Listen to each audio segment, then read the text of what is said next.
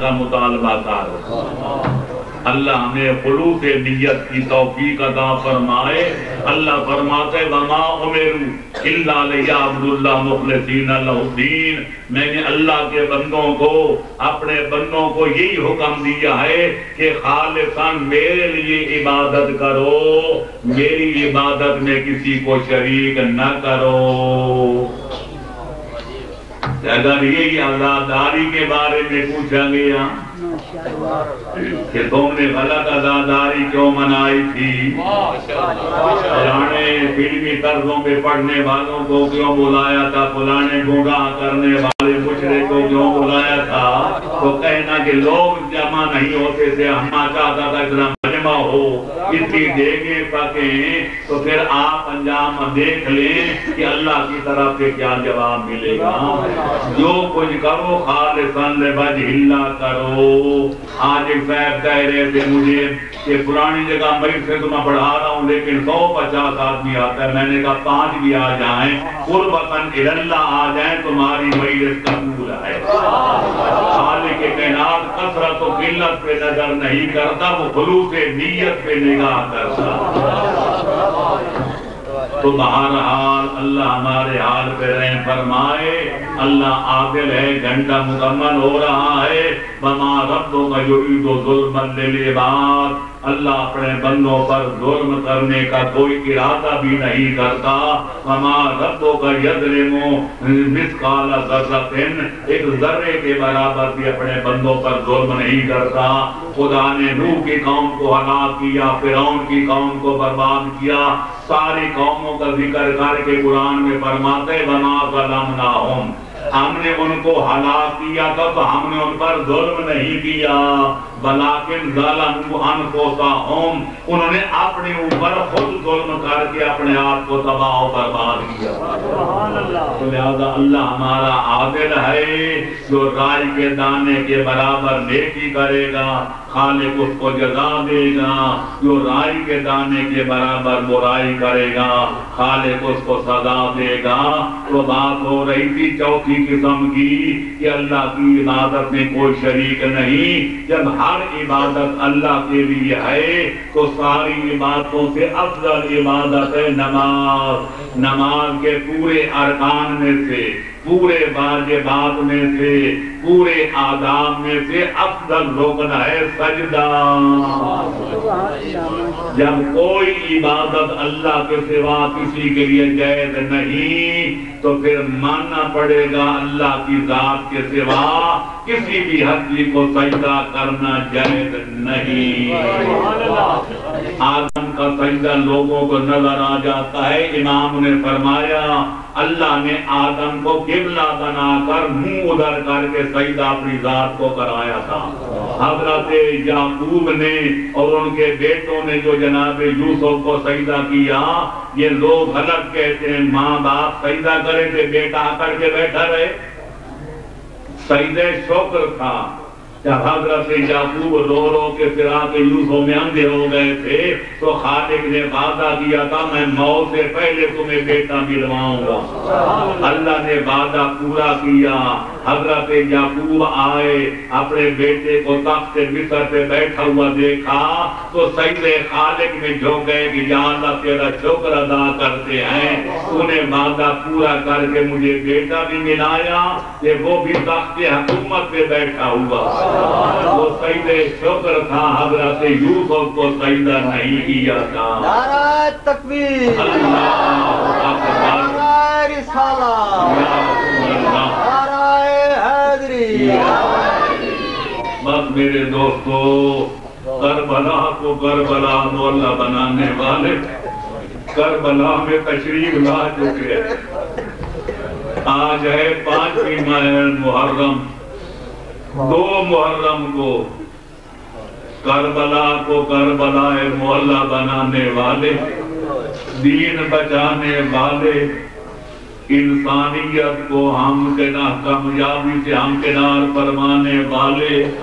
قرآن کو تا قیامت زندہ جاوید بنانے والے۔ پیغمبر اکرم کی شریعت کو محفوظ فرمانے والے۔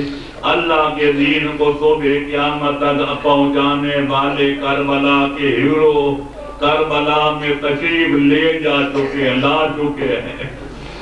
جب کربلا کی زمین میں پہنچے تو ابن زیاد ملون کا خط اور ابن یزید ریائی کے نام پہنچا، اذا بالغا کا کتابی حاضر اے ہور جب میرا خط تمہیں ملے تو حسین کو وہاں روک دے اور ایسی جگہ ان کو قیام کرنے پر مجبور کر دی، نہ تو نہ آب ہو، نہ گیا، نہ پانی ہو، نہ کوئی سبزہ۔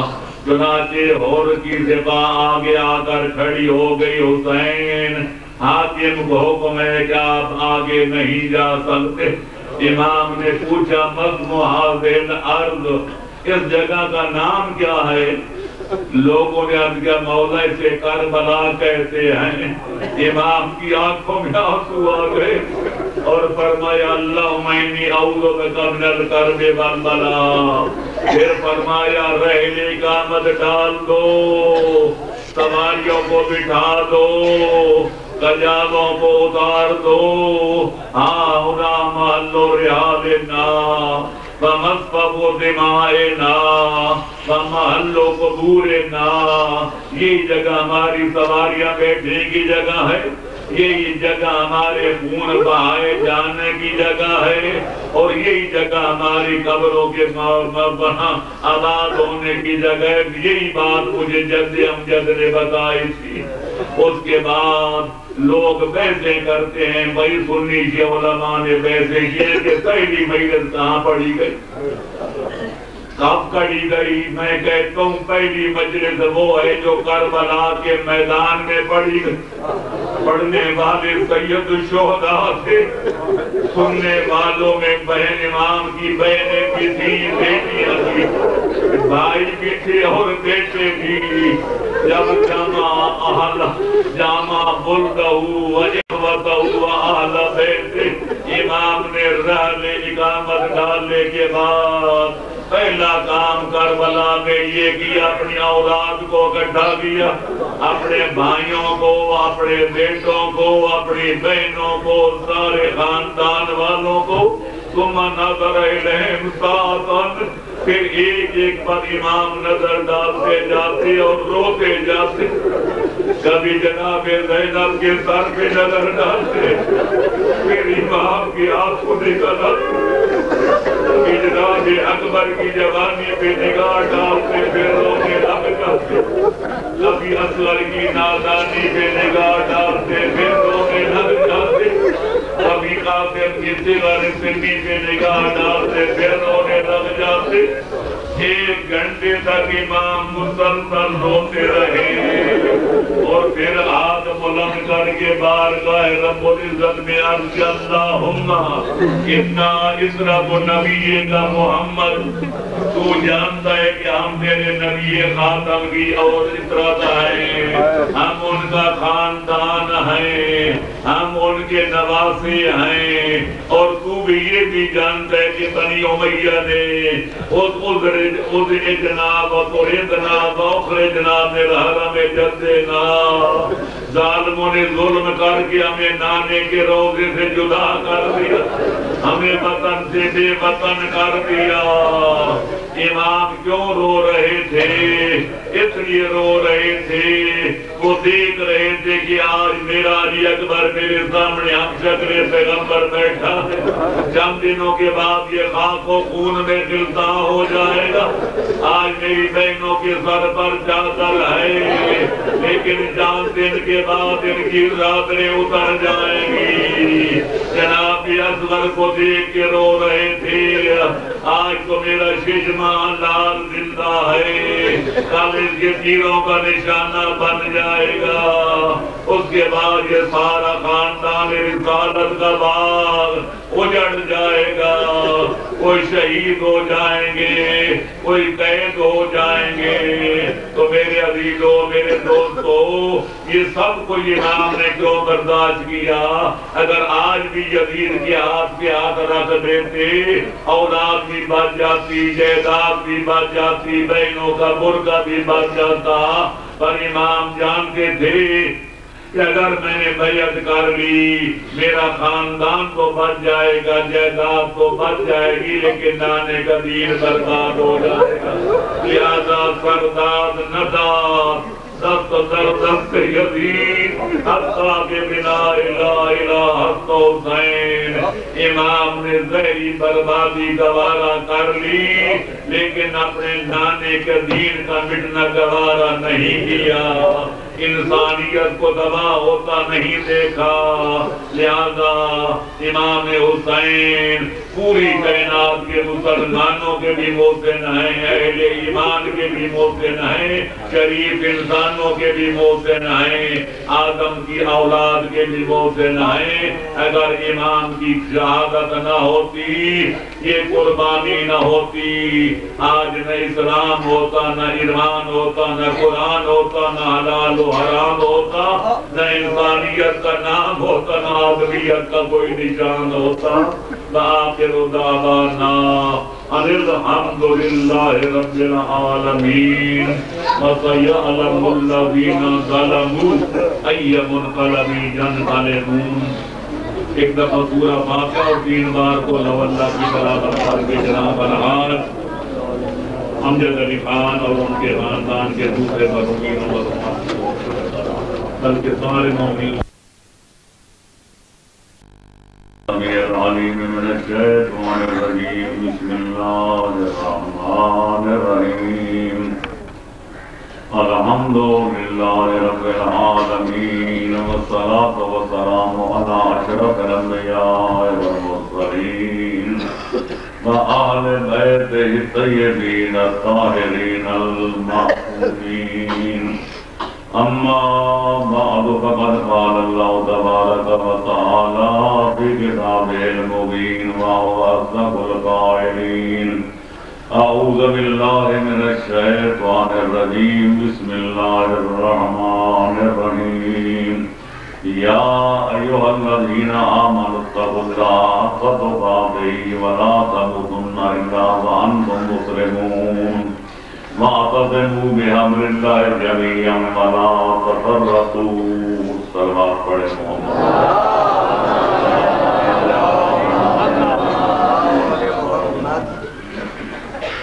خالق اکبر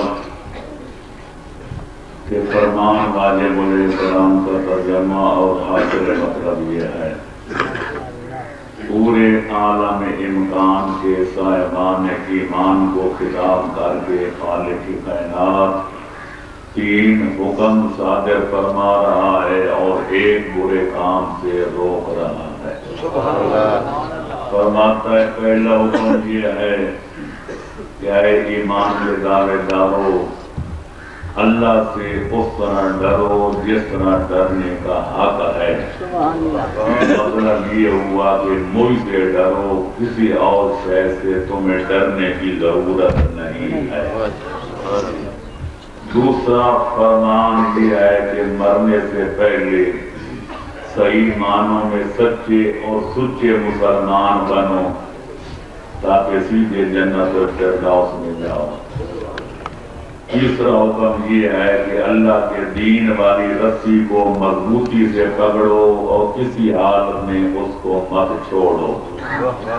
اور جس برے کام سے خالق روک رہا ہے، جس میں تمام بنی نو انسان کا نقصان ہے، وہ یہ ہے کہ آپس میں تفرقہ بازی نہ کرو، اختلاف سازی نہ کرو، اپنی صفوں میں انتشار مت پھیلاؤ۔ اور اپنے اندر خلقشار مت پیدا کرو سلوات پڑھیں محمد۔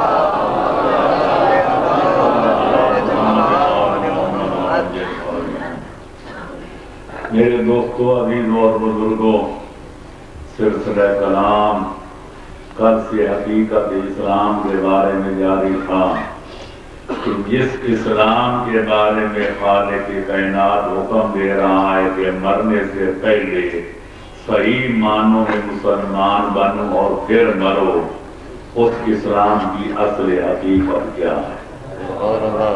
تو عرض کیا تھا، اگر حقیقت اسلام کو سمجھنا ہے تو سوائے آل محمد کے کوئی اور راستہ نہیں ہے۔ اس لیے کہ پیغمبر اکرم نے اعلان رسالت کیا تھا تو جناب ابو طالب کے گھر میں کھڑے ہو کر۔ اور سب سے پہلے تصدیق نبوت کی تھی تو حیدر قرار نے پیغمبر اکرم کا انتقال ہوا تھا تو ان کا سر جناب امیر المومنین کے زانوں پہ تھا۔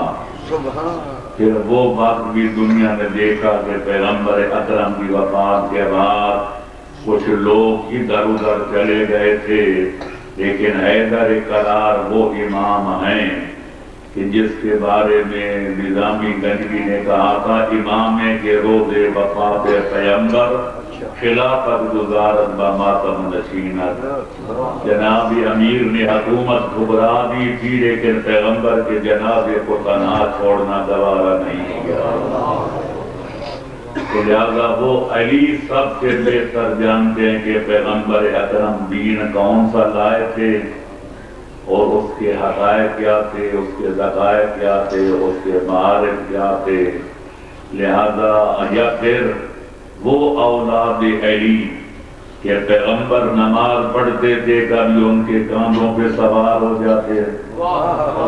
پیغمبر حج اکبر بجا لاتے جناب حسنین شریفین کبھی گود میں ہوتے، کبھی ان کے کاندھوں پہ ہوتے ان سے بہتر کون بتا سکتا ہے کہ پیغمبر اکرم کے نماز پڑھنے کا طریقہ کیا تھا کہ حج بیت اللہ ادا کرنے کا طریقہ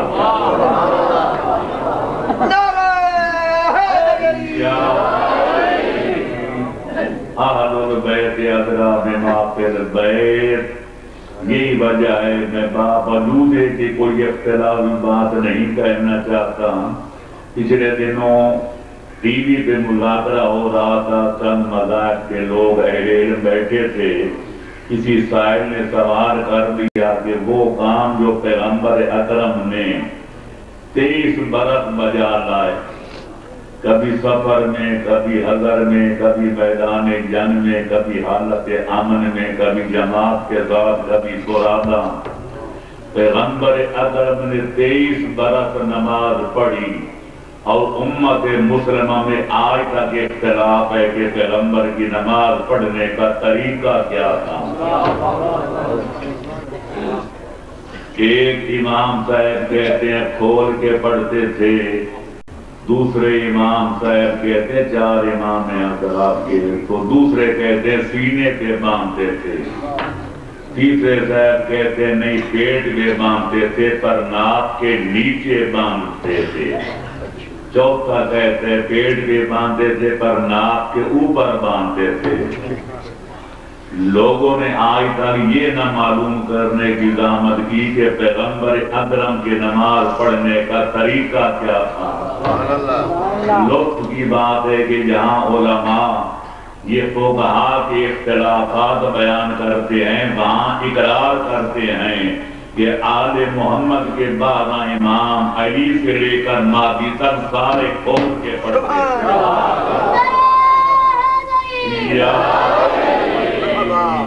اہل البیت ادرا بما فی البیت، ہر والے بہتر جانتے ہیں کہ گھر میں کیا ہے۔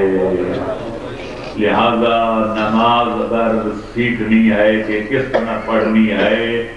تو علی سے لے کر مادی تک نماز ان کی نماز کو دیکھو۔ روزہ رکھنے کا وقت کیا ہے؟ کھولنے کا ٹائم کیا ہے؟ یہ معلوم کرنے تو علی سے لے کر ماضی تک بارہ کے اوقات روزہ کھولنے اور رکھنے کے اوقات کو دیکھو۔ اگر حج کے ارکان میں اختلاف ہے تو علی سے لے کر ماضی تک ان کے ارکان حج کو دیکھو۔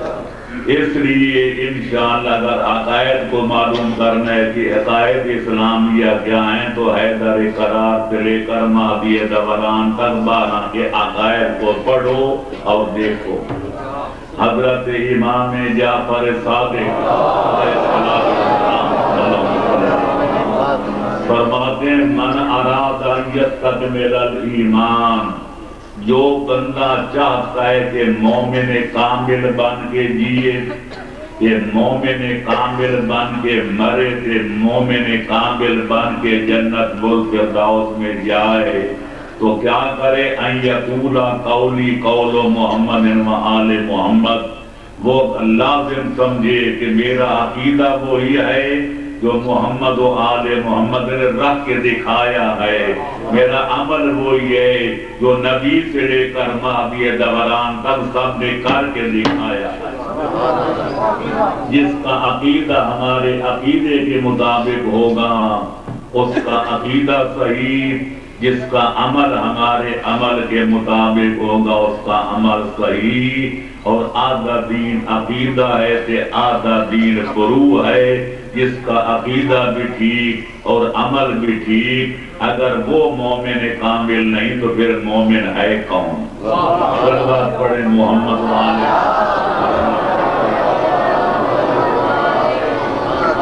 تو بقدر ضرورت جس قدر دامن وقت میں گنجائش تھی، کل توحید کے بارے میں گفتگو ہو چکی کہ جب تک خالق کے کائنات کو مالک کے موجودات کو ہر سے لحاظ سے واحد و یکتا نہ مانا جائے اس وقت تک آدمی کی توحید کا عقیدہ مکمل نہیں ہوتا۔ وہ ذات میں ایک وہ صفات میں ایک وہ اپنے افعال اور کاموں میں ایک اور اپنی عبادت میں ایک۔ یہ چار عناصروں کو بنتا ہے مسلمان۔ پھر اب کیا کہ دوسرا عقیدہ جو ہے وہ ہے عدالت باری تعالی کے خالق کائنات۔ اتنا بڑا عادل ہے اتنا بڑا منصف ہے۔ کہ لا یظلم آدم مثقال ذرۃ ایک ذرے کے برابر بھی کسی مخلوق پر ظلم نہیں کرتا فما ربک یرید ظلما للعباد ظلم کرنا تو بات کی بات کبھی اللہ اپنے بندوں پر ظلم کرنے کا ارادہ بھی نہیں کرتا۔ بلکہ بار بار فرماتا ہے کہ لعنت اللہ علی الظالمین، جو پبلک پر، جو لوگوں پر ظلم کرتے ہیں برادری پر کریں، دشمنوں پہ کریں، دوستوں پہ کریں جو خود کسی پہ ظلم و زیادتی کرتا ہے، وہ خالق اکبر کی لانت سے کبھی بچ نہیں سکتا۔ لہذا اللہ اپنے بندوں کو حکم دیتا ہے کہ لا یجر منہ کم شان آن قومن اللہ اللہ کا عدلو ہو، اے عدلو ہو، اقرب للتقوی۔ اگر تم انصاف کی کرسی پہ بیٹھے ہو یعنی جج ہو یا قاضی ہو یا عالم دین اور تمہارے سامنے دو آدمی اپنا مقدمہ پیش کریں۔ ان میں سے ایک ہو آپ کا جگری دوست اور دوسرا ہو آپ کا جانی دشمن۔ مزہ آ جائے گا نا؟ دو آدمی ہیں جو مقدمہ پیش کر رہے ہیں۔ ایک جج صاحب کا جانی دوست ہے، دوسرا جانی دشمن ہے۔ اللہ فرماتا ہے آپ اس کی دوستی دشمنی پہ نظر نہ کرو۔ اپنے عقل اور اپنے علم اور اپنے انصاف کو مد نظر رکھو۔ اگر جانتے ہو کہ دشمن حق پر ہے تو دوست کے خلاف فیصلہ ڈگری کر دو۔ کسی قوم سے کسی قبیلہ سے اور کسی آدمی سے اگر تمہیں دشمنی ہے تو اس کی ذاتی دشمنی تمہیں انصاف کا دامن چھوڑنے پر آمادہ نہ کرے۔ اے دل ہوا اقرب للتقوی۔ اگر متقی بننا ہے، اگر جنت میں جانے کا پروگرام ہے، تو عدل کرو، انصاف کرو، ورنہ سیدھے جہنم میں جاؤ گے۔ اب میرے دوستو، عزیزو، بزرگو، انصاف کرو۔ وہ خالق اکبر جو اپنے بندوں کو حکم دیتے ہیں کہ دشمن کے ساتھ بھی انصاف کرو دشمن کے ساتھ بھی زیادتی نہ کرو وہ رحمان الرحیم خدا وہ ارحم الرحمین خدا وہ اکرم الاکرمین خدا وہ رب العالمین خدا اپنے بندوں پر ظلم کر سکتا ہے۔ ربوں کا ظلم کے بعد اس لیے فرمایا کہ ظلم کرنا تو بڑی بات، میں تو کبھی ظلم و زیادتی کا کبھی ارادہ بھی نہیں کرتا۔ لہذا اللہ عادل ہے اور اتنا بڑا عادل کہ من یعمل مثقال ذرۃ خیرا یرا ومن یعمل مثقال ذرۃ شرا یرا جو رائی کے دانے کے برابر نیکی کرے گا زود یا بدیر خالق اس کو جزا دے کے رہے گا اور جو رائی کے دانے کے برابر ظلم کرے گا کسی پر خالق اس کو سزا دے کے رہے گا۔ سلوات پڑھے محمد۔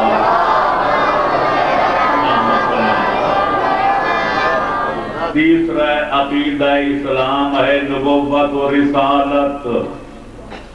میرے دوستو، عزیزو، بزرگو دنیا میں دو قسم کے لوگ ہیں، تیسری قسم کوئی نہیں۔ کچھ عقل مند ہوتے ہیں اگر کے تعداد میں تھوڑے ہوں۔ کہ کچھ ہوتے ہیں عقل بے وقوف اور احمد۔ اگر سے تعداد میں زیادہ ہے لیکن مانتا کوئی نہیں۔ اب کسی کے ماتھے پر تو نہیں لکھا ہوا۔ بچہ پیدا ہو تو ماتھے پہ لکھا ہو کہ یہ عقل مند ہے۔ کہ کسی کے ماتھے پہ لکھا ہو یہ احمد ہے۔ اللہ کسی کے پردے کو پاک نہیں کرتا۔ اللہ نے مختلف قسم کے لوگ پیدا کیے، لیکن کسی کے ماتھے پہ نہیں لکھا، یہ مومن ہے، یہ کافر ہے، یہ عقل مند ہے، یہ آمد ہے۔ لہذا دنیا میں عقل مند بھی ہیں اور آمد بھی۔ اب ان کی پہچان کا طریقہ کیا ہے؟ اگر یہ معلوم کرنا پرانا بندہ عقل مند ہے یا آمد ہے وہ عقل مند ہے یا بے وقوف ہے، تو لہذا اوقلائے روزگار نے، کائنات کے محققین و مدققین اور علماء نے بڑی لمبی چوڑی تحقیقات کے بعد ایک معیار مقرر کیا ہے، ایک میزان معین کیا ہے، ایک ترازو مقرر کیا ہے۔ اس پہ توڑتے جاؤ، پتہ چل جائے گا کہ من کون ہے تے احمد کون ہے۔ وہ ترازو کیا ہے؟ ہر بندے کے قول کو دیکھو، اس کے پھیڑ کو دیکھو۔ اس کی گفتار کو دیکھو، اس کے کردار کو دیکھو، اس کی روش کو دیکھو، اس کی رفتار کو دیکھو۔ اگر کسی مقصد کو سامنے رکھ کر کام کرتا ہے، وہ عقل مند ہے۔ لیکن جو بغیر مقصد کے کلام کرے تو بغیر مقصد کے، کام کرے تو بغیر مقصد کے، کسی سے لڑے تو بغیر مقصد کے سلو کرے تو بغیر مقصد کے، اس کو عقل مند احمد کہتے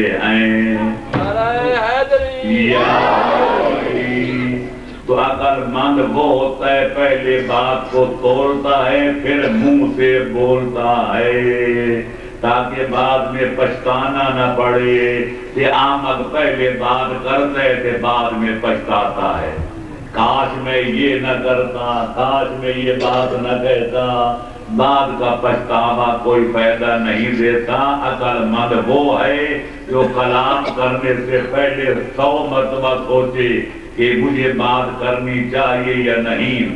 کوئی کام کرنے سے پہلے ہزار بار سوچے کہ یہ کام کرنا چاہیے یا نہیں، تو لہذا جو بغیر مقصد کے کلام کرے بغیر مقصد کے کام کرے، اس کو احمد کہتے ہیں۔ اور جو کسی مقصد کے تحت کام کرے، کسی مقصد کے حصول کے لیے کلام کرے، اس کو عقل مند کہتے ہیں۔ جب یہ معلوم ہو گیا اللہ تعالی کے بارے میں کیا خیال ہے؟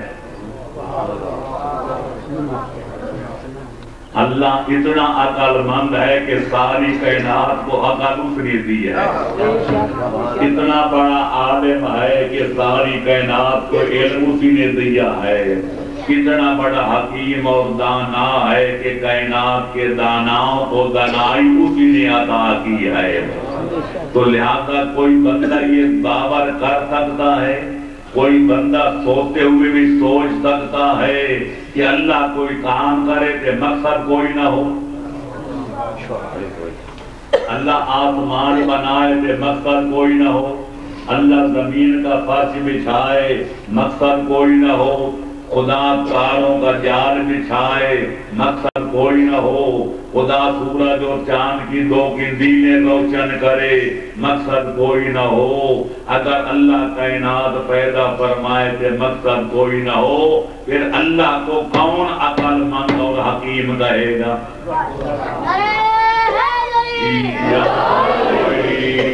تو لہذا اللہ علیم بھی ہے، اللہ حکیم بھی ہے۔ اور حکیم اسے کہتے ہیں کہ فیل الحکیم لا یخلو عن الحکمہ، جس کا کوئی قول و فیل حکمت و مصلحت سے خالی نہ ہو۔ لہذا ماننا پڑے گا، ہماری سمجھ میں آئے یا نہ آئے، ہماری ناقص العقلی کی وجہ ہے۔ ورنہ اللہ نے آسمان کا شامیانہ لگایا تو کسی مقصد کے لیے، زمین کا فرش بچھایا تو کسی مقصد کے لیے۔ یہ نہار و اچار پیدا فرمائے تو یہ کسی مقصد کے لیے۔ دن اور رات پیدا فرمائے تو کسی مقصد کے لیے۔ تو جب ہر چیز کا کوئی مقصد ہے تو حضرت انسان کی پیداش کا کوئی مقصد نہیں ہے۔ یقیناً ماننا پڑے گا۔ اللہ جب بیکار کام نہیں کرتا، اگر اللہ کا قرآن پڑھا جائے، چار معصومین کا فرمان پڑھا جائے، تو جا بجا یا آپ کو نظر آئے گا۔ اللہ فرماتے میں نے آسمان کو انسانوں کے لیے چھت بنایا۔ زمین کو میں نے انسانوں کے لیے جو ہے فرش بنایا۔ یہ میں نے دن کام پیدا کیا کام کرنے کے لیے۔ میں نے رات بنائی آرام کرنے کے لیے۔ بیویاں بنائی شوہر بنائے اولاد کے حصول کے لیے۔ یہ میں نے فلانا کام کیا، فلان کام کے لیے۔ تو سارا کائنات حضرت انسان کے لیے بنائی گئی ہے۔ کوئی اس کو کھلانے کے لیے کوئی چیزیں اس کو پلانے کے لیے کوئی سواری فرمانے کے لیے کوئی بار برداری کے لیے کوئی زیب و زینت کے لیے۔ تو انسان کو بھی سوچنا چاہیے جب سارا جہاں میرے لیے اللہ نے پیدا کیا ہے تو مجھے کیوں پیدا کیا ہے؟ اللہ فرماتا ہے، لہم قلوب لا یفقہون بہا، ولہم اعین لا یبصرون بہا، ولہم آذان لا یسمعون بہا۔ اولئک کالانعام بل ہم اضل انسان اور حیوان میں یہی فرق ہے کہ انسان کو اللہ نے عقل دی ہے تاکہ سوچے، غور و فکر کرے۔ اور وہ حیوان کو اللہ نے عقل دی ہی نہیں، لہذا نہ سوچ سکتا ہے، نہ کوئی غور و فکر کر سکتا ہے۔ تو فرماتے ہیں، جن کو میں نے عقل دی ہے، انسان بنایا ہے، پر اگر عقل سے سوچتا نہیں۔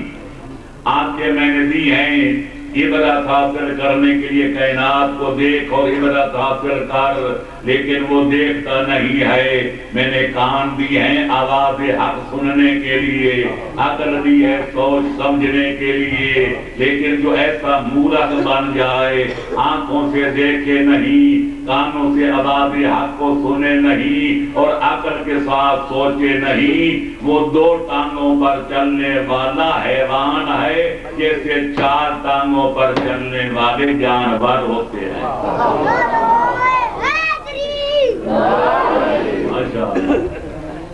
ماشاء اللہ آپ کے بھی زیادہ بچے ماشاء اللہ تو سور کا سور دے رہے ہیں۔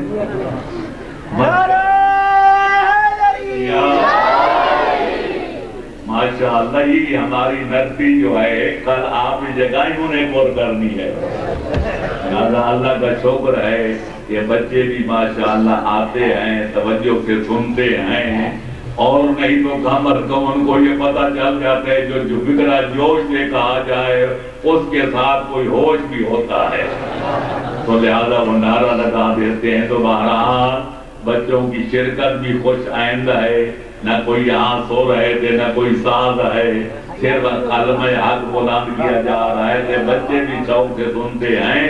اس کا مطلب یہ ہے کہ ہمارا مستقبل روشن ہے۔ محمد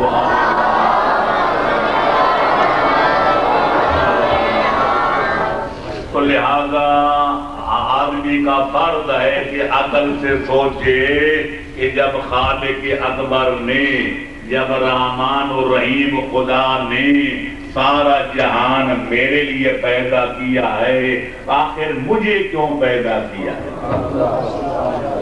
اقبال کہتے جہاں ہے تیرے لیے، تو نہیں جہاں کے لیے۔ سارا جہان اللہ نے تیرے لیے پیدا کیا۔ گائے بھینسے ہیں تجھے دودھ پلانے کے لیے، مرغے، چرغے ہیں تمہیں گوشت کھلانے کے لیے۔ دن ہے تمہارے کام کے لیے، رات ہے تمہارے آرام کے لیے۔ وغیرہ وغیرہ تو تو بھی تو سوچ آخر تو کس کام کے لیے پیدا ہوا ہے؟ تو نہیں جہاں کے لیے، تو صرف کھانے پینے کے لیے نہیں۔ زیب و زینت کرنے کے لیے نہیں، یہ تو ڈنگر ڈھور بھی کرتے ہیں۔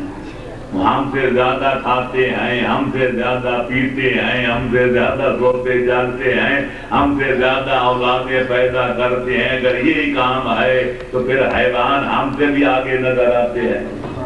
تو پتہ چلا انسان کو کسی اور مقصد کے لیے پیدا کیا گیا ہے۔ اب اس کو معلوم کیسے کیا جائے؟ دو طریقے تھے۔ یا اللہ ہمارے سامنے آ جاتا اور کہتا، میرے بندو، میں نے تمہیں فلانے مقصد کے لیے پیدا کیا ہے۔ اللہ تو ہمارے سامنے آتا نہیں یہ یہ تھا کہ ہمیں اپنی بارگاہ میں بلاتا اور ہمیں فرماتا ہوں، میرے بندو طرح سردار رعایا کو بلاتا ہے کہ میں نے ووٹ پرانے کو دینے ہیں تو تم نے پرانے کو دینے ہیں۔ تو لہذا اللہ ہمیں اپنی بارگاہ میں بلاتا نہیں۔ ہم اس قابل نہیں کہ اللہ کی سرکار میں حاضر ہو سبحان اللہ یہی کے دو حساب تو یوں پاس ہو گئے وہ ہمارے سامنے آتا نہیں ہم سے کلام کرتا نہیں۔ ہمیں اپنی بارگاہ میں بلاتا نہیں۔ پھر کون بتائے کہ اللہ نے ہمیں پیدا کیوں کیا ہے؟ اس کے لیے خالق کائنات نے انبیاء اور مرسلین بھیجے۔ اللہ جب کسی کو نبی بناتا ہے یا کسی کو رسول بناتا ہے تو میرے دوستو، اللہ ایسا نہیں کرتا، حل چلانے والے کو کئی حل چھوڑ دے تو میرا نبی بن جا۔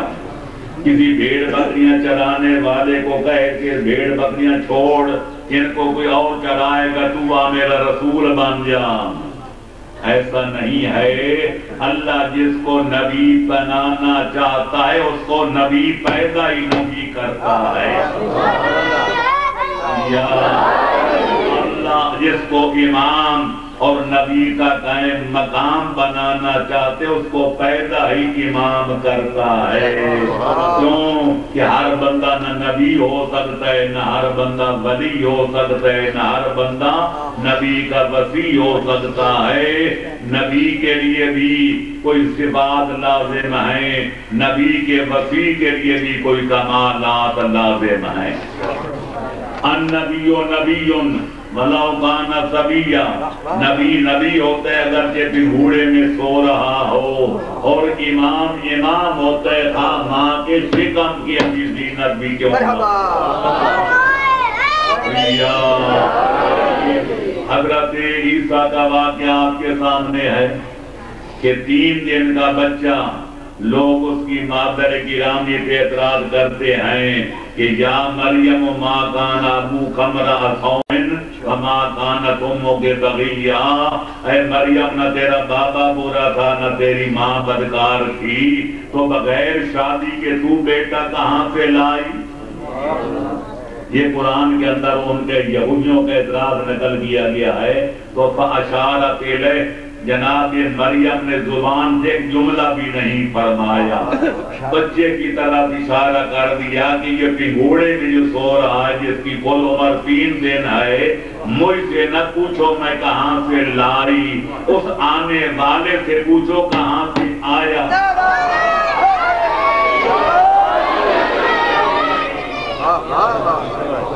ان کا پارا اور چڑھ گیا، کہنے لگے، ایک زور سے پھر پینا زور۔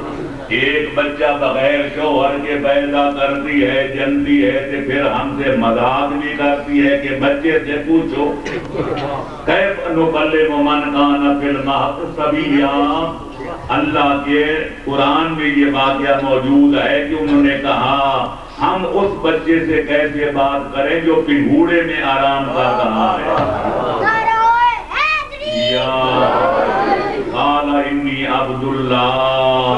بچے نے کروٹ بدلی اور اللہ کی قوت و طاقت سے بولا انی عبداللہ مجھے اللہ کا بیٹا نہ کہنا۔ کہ نہ میرے نصب میں کوئی شک و شبہ کرنا میں اللہ کا بندہ خاص ہوں۔ آبانی الکتاب وجعلنی نبیہ اللہ نے مجھے کتاب و نبوت دے کر دنیا میں بھیجا ہے۔ اندازہ لگاؤ، تین دن کا بچہ اور بول بھی رہا ہے، اپنی نبوت کا اعلان بھی کر رہا ہے۔ تو پتا چلا جو نبی نبی ہوتا ہے، وہ بچپن میں بھی نبی ہوتا ہے۔ اور جو امام ہوتا ہے وہ شن مادر میں بھی امام ہوتا ہے۔ ہمارے پاس کئی واقعات ہیں کہ نلم امام یس مول کلام اپنی بطن امی۔ جب امام شیخ میں، مادر میں ہوتا ہے تو لوگوں کا کلام اس وقت بھی سنتا ہے۔ تو الغرض پتا چلا کہ خالق جس کو نبو نبی بنانا چاہے، اس کو پیدا ہی نبی کرتا ہے۔ جس کو اللہ وفی بنانا چاہے، امام بنانا کے لیے۔ لوگ نبی آتا ہے لوگوں کو نیکوکار بنانے کے لیے، شیطان کے جنگل سے چھڑانے کے لیے۔ اگر خود نبی گناہگار ہو وہ بھی شیطان کا پیروکار ہو تو کائنات کو ہدایت کیسے کرے گا؟ اس لیے نبی کے لیے معصوم ہونا ضروری ہے کہ ساری کائنات کے دشمن ایڑی چوٹی کا زور لگائیں، لیکن نبی کی چادر اس مد پر کسی صغیرہ گناہ کا بھی دھبا ثابت نہ کر سکے، اس کو نبی کہتے ہیں۔ لہذا پہلی صفت یہ ہے کہ نبی کے لیے معصوم ہونا، ہر قسم کے چھوٹے بڑے گناہوں سے پاک ہونا اور وہ بھی ماغ سے لے کر لہ تک گھوڑے سے لے کر قبر کے کنارے تک ضروری ہے۔ جو کبھی کوئی گناہ کر بیٹھے کبھی معذ اللہ شراب پی لے چوری کر لے ڈاکہ ڈال لے کسی بندے کو بلا بجا قتل کر دے وہ سب کچھ ہو سکتا ہے پر اللہ کا نبی اور رسول نہیں ہو سکتا دوسری صفت نبی کے لیے ضروری ہے کہ جو کوئی پڑھ کے آئے خالق اکبر سے پڑھ کے آئے دنیا کے سکولوں کالجوں میں کسی استاد کے سامنے زان عدم نہ جھکائے اگر نبی پیدا ہو جاہل تے سکولوں میں جا کے ٹاٹ پہ بیٹھ بیٹھ کے تو استاد کی ڈانٹ ڈپڑ سہ سہ کے نبی بنے تو کل استاد کو دعویٰ کرنے کا حق ہوگا۔ اللہ کی عدالت کہاں گئی؟ استاد کو چھوڑ دیا تو شگرد کو نبی بنا دیا۔ ہاں۔ اس لیے نبی وہ ہوتا ہے جس کا معلم اللہ ہوتا ہے، پڑھانے والا اللہ ہوتا ہے۔ وہ عالم علم لدنی ہوتا ہے۔ وہ اللہ کی بارگاہ سے پڑھ کر آتا ہے۔ وہ دنیا میں آنے کے بعد کسی سکول اور کالج میں علم حاصل نہیں کرتا۔ لہذا جو بندہ دعویٰ کرے میں نبی ہوں کہ پہلے سکولوں کالجوں میں پڑھتا رہا ہو۔ ہم سب کچھ مان جائیں گے پر اس کو اللہ کا نبی نہیں مانیں گے۔ کیونکہ جو دنیا میں آگے پڑھے وہ اللہ کا نمائندہ نہیں ہو سکتا۔ تیسری صفت جو نبی کے لیے ضروری ہے وہ یہ ہے کہ اعلیٰ خاندان کا فرد ہو۔ جو بھی اس کی ذات ہو، ایسا خاندان ہو کہ آدم تک چلے جاؤ، نہ اس کے باپ دادے پر کوئی اعتراض کر سکے، اور اس کی ماں اور نانی خالہ پہ کوئی اعتراض کر سکے۔ دشمن بھی مانے کہ خاندان بہت بڑا عظیم ہے۔ اس کے خاندان میں کوئی بدکار نہ ہو۔ کوئی جو ہے زناکار نہ ہو، کوئی شراب خار نہ ہو، کوئی بدکار نہ ہو، بلکہ سارا خاندان کے افراد بلند و بالا اخلاق کے، آریہ کے مالک نظر آئیں۔ تاکہ لوگ اس کے خاندان کی طرح انگلی نہ اٹھا سکیں۔ چوتھی صفت یہ ہے کہ نبی وہ ہوتا ہے جو اتنا بڑا دلیل ہو، اتنا بڑا اللہ کا شیر ہو کہ دین پھیلانے میں، اللہ کا پیغام پہنچانے میں ساری باطل گفتیں اکٹھی ہو کے بھی آ جائیں۔ اس کو جان کا خطرہ بھی ہو کہ لوگ مجھے دشمن شہید کر دیں گے۔ لیکن اگر میں میدان جنگ گرم ہو جائے، اس کا ہر قدم آگے بڑھتا ہوا نظر آئے۔ کبھی دشمن کو دیکھ کر کوٹ دکھا کر بھاگتا ہوا نظر نہ آئے۔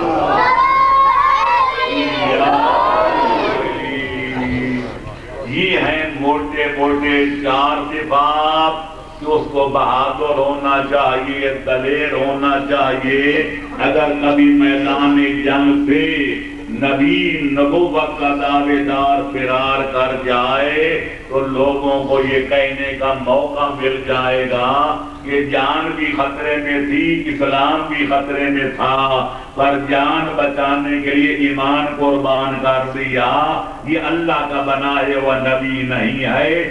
جان قربان کر دے، لیکن اپنے ایمان پر آج نہ آنے دے۔ وہ اس کے لیے بہادر ہونا ضروری ہے۔ یہ چار خطے یہ پانچویں صفت جو لازم ہے ہر نبی کے لیے، ہر رسول کے لیے۔ وہ موجزہ ہے جو اللہ کی طرف سے سند ہوتا ہے کہ اللہ کا بنایا ہوا نبی ہے، یہ لوگوں کا بنایا ہوا نہیں ہے۔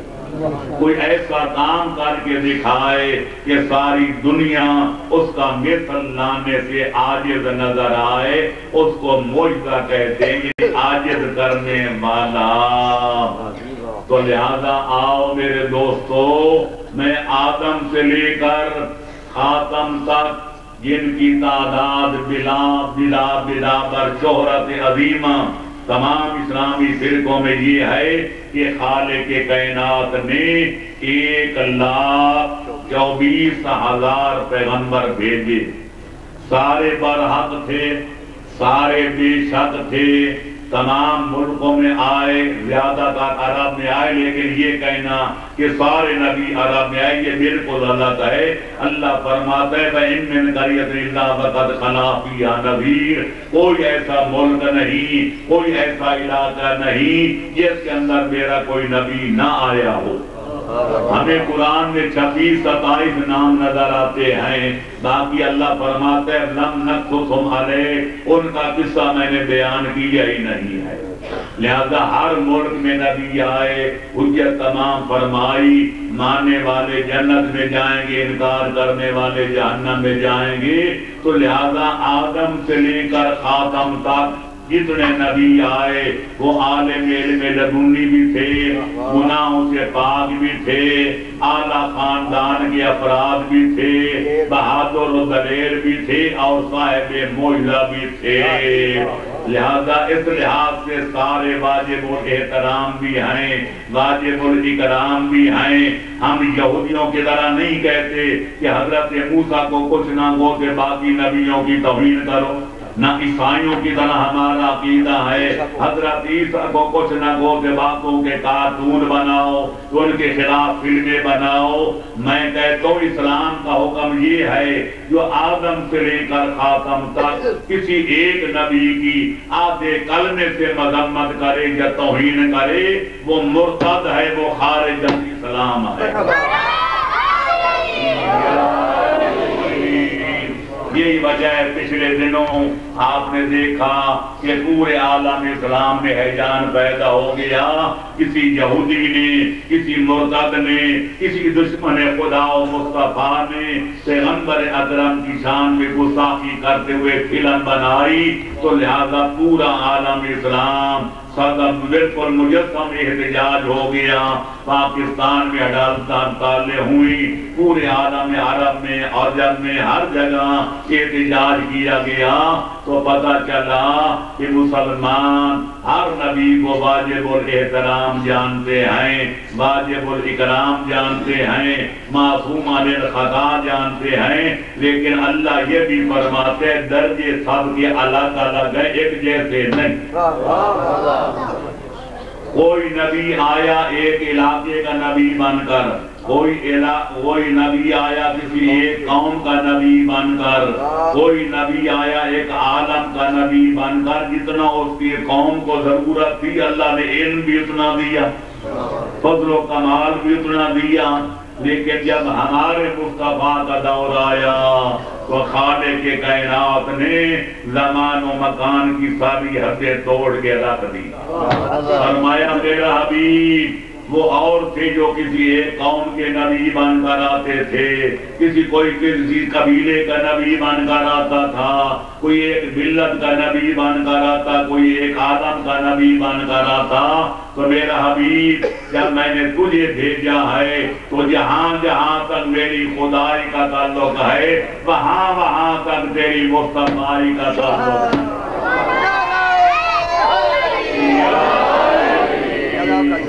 میں ہوں رب العالمین اور تو ہے رحمت للعالمین۔ میں ہوں الہ العالمین اور تو ہے نذیر للعالمین۔ زمین ہو یا آسمان ما کان ہو یا ما یکون۔ ما فوق الارض ہو یا ما تتصرا جتنا کائنات کا کوئی خطہ، کائنات کا کوئی حصہ، کائنات کا کوئی ٹکڑا، میری توحید اور وحانیت سے خالی نہیں۔ کائنات کا کوئی حصہ، کائنات کا کوئی ٹکڑا، کائنات کا کوئی جز تیری نبوت و رحمت و رسالت سے بھی خالی نہیں۔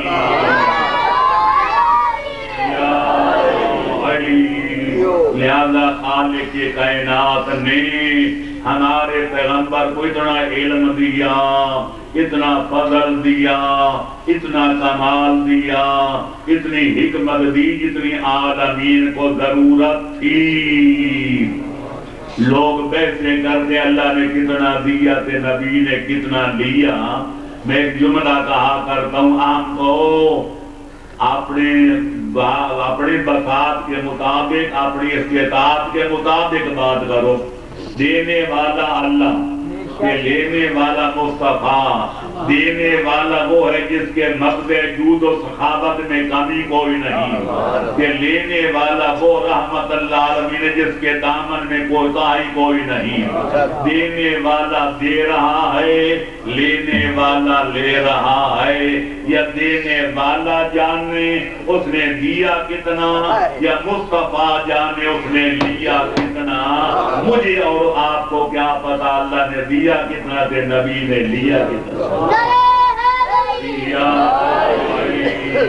اللہ مالم تکن تعلم اللہ فرماتا ہے، میرا حبیب، جو کوئی تو نہیں جانتا تھا، میں نے تجھے بتا دیا۔ الرحمن علم القرآن۔ رحمان وہ ہے جس نے اپنے عبد خاص کو قرآن پڑھایا۔ اور قرآن وہ کتاب ہے کہ لا رتب ولا جامس الا فی کتاب مبین۔ کائنات کا کوئی خوش کو تر ایسا نہیں جس کا تذکرہ کتاب مبین میں نہیں۔ تو میرے دوستو، نتیجہ یہ نکلا کہ ہمارے نبی میں ہمارے مصطفیٰ میں اور سابقہ انبیاء میں اتنا فرق مراتب ہے کہ اگر حضرت آدم سے لے کر حضرت عیسیٰ نے مریم تک جن کی تعداد بنا پر مشہور بنتی ہے، ایک کم ایک لاکھ چوبیس ہزار۔ سارے اپنی نبوتوں اپنی رسالتوں، اپنی عصمتوں اپنی طہارتوں اپنے علموں، اپنے عملوں، اپنی عظمتوں، اپنی جلالتوں کے ساتھ اکٹھے ہو کے آ جائیں اور ایک سب میں کھڑے ہو جائیں۔ حسین کا نانا، عبداللہ اور آمنہ کا لال، مصطفیٰ دوسری سب میں کھڑے ہو جائیں۔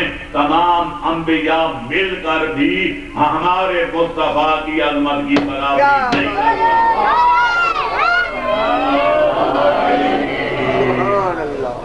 اور جہاں تک موجزات کا تعلق ہے، پیغمبر اکرم کے سنی شیعہ علماء نے اپنی کتابوں میں چار ہزار کے لگ بھگ پیغمبر اکرم کے موجزات شمار کیے ہیں۔ یہ میں سورج کا پلٹانا بھی ہے، یہ چاند کا دو ٹکڑے کرنا بھی ہے۔ یہ اور ہزاروں قسم کے موجزات ہیں، یہ سے پتہ چلتا ہے کہ ہمارا نبی صرف نبی نہیں، یہ سارے نبیوں کا سید و سردار بھی ہے۔ یہ سارے رسولوں کا آقا نامدار بھی ہے۔ اور باقی مان رہے گی یہ بات کہ پہلے نبی آتے تھے ایک چلا جاتا پھر دوسرا آ جاتا دوسرا جاتا تیسرا آ جاتا۔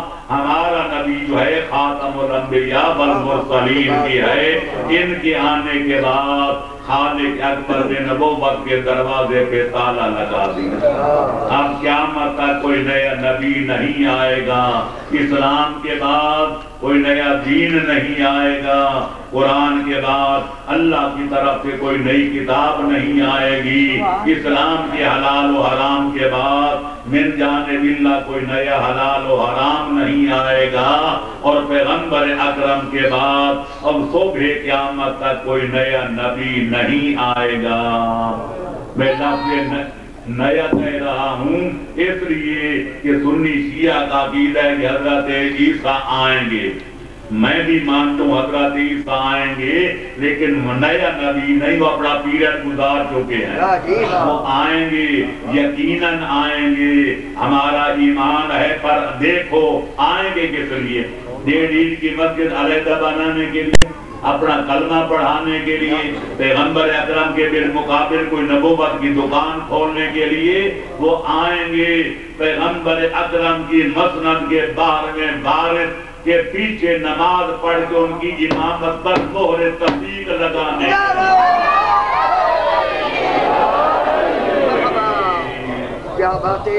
سنی شیعہ کتابیں چھلک رہی ہیں۔ میں نے تطاف القبائد میں اطباب الامامت وغیرہ میں وہ سارے حوالے درج کیے ہیں کہ جناب مہدی دبران کا جو ہے نزول آن ظہور ہوگا۔ حضرت عیسیٰ ابن مریم کا زمانوں سے نزول ہوگا۔ دونوں بزرگ اکٹھے ہوں گے۔ نماز کا وقت ہوئے گا۔ جب آئے گا تو حضرت مادی اخلاق محمدی کا نمونہ پیش کرتے فرمائیں گے، یا عیسیٰ کا قدم۔ اے حضرت عیسیٰ آپ ایک کم ایک لاکھ نبیوں کے کم نقیب ہیں زیادہ آگے بڑھ کے نماز پڑھائیں۔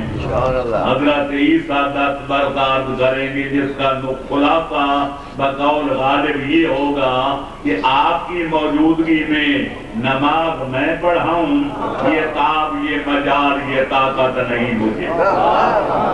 حضرت مہدی دوران آگے کھڑے ہوں گے اور ایک کم ایک لاکھ نبیوں کا نبی نبی، ان کا قائم مقام۔ حضرت عیسیٰ ابن مریم ان کی ابتدا میں کھڑے ہوں گے۔ میں کیوں نہ کہوں، جہاں بارہویں لال ولایت پیغمبر اکرم کی مسند کے بارہویں بارش کے قدم ہوں گے وہاں سابقہ انبیاءوں کے نقیب کی پیشانی جھک رہی ہوگی۔ اس دن دنیا پہ واضح ہوگا کہ سابقہ نبیوں کا مقام کیا ہے کہ حضرت مہدی کی شان کیا ہے۔